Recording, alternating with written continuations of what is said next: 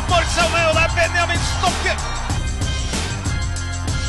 Der er det Stokke igjen, og han setter tre!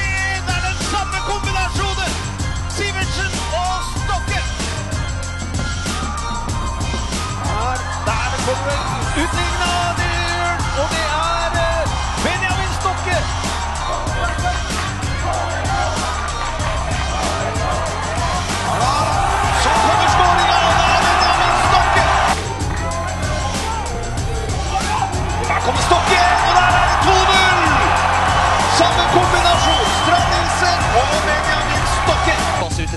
venstre. Kan ta seg tid og prikke det innlegget. Perfekt!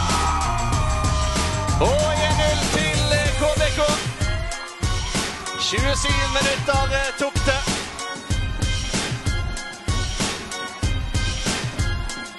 Og så kommer det 1-0, og det er Benjamin Stokke som gjør det igjen.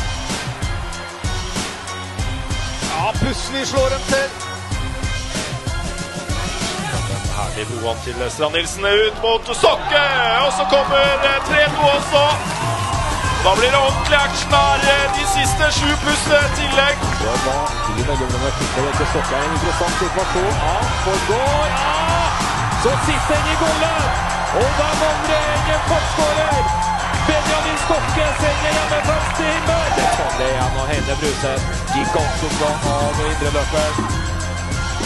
Skaffer den videre til Gjertsen. Går det rett inn mot Stokke!